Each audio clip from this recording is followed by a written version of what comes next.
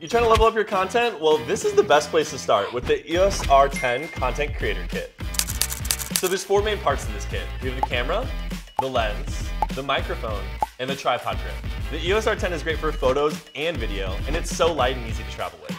I like the RFS 18 to 45 millimeter lens because you can zoom and choose your own focal length. And the mic is great for vlogging. I love the tripod grip because it has a Bluetooth remote and you can take self-portraits. I can't wait to see what you create.